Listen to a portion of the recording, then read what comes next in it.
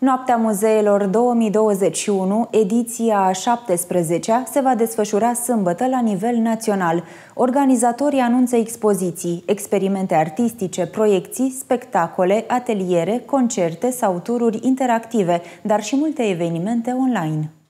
Potrivit unui comunicat al organizatorilor, activitățile din Noaptea Muzeelor sunt oferite anul acesta iubitorilor de cultură, de muzee și de case memoriale, galerii de artă, institute culturale, saloane și studiouri creative, castele, palate, cetăți, teatre, universități, cinematografe, biblioteci, memoriale ale terorii comuniste, opere, filarmonici, lăcașe de cult și case ale experimentelor. Noaptea muzeelor va fi prezentă în 185 de spații culturale din 72 de localități, din 37 de județe ale țării. Dintre acestea, 43 de puncte culturale de interes din București, în care publicul se poate bucura de o serie de evenimente artistice și culturale inedite și interactive.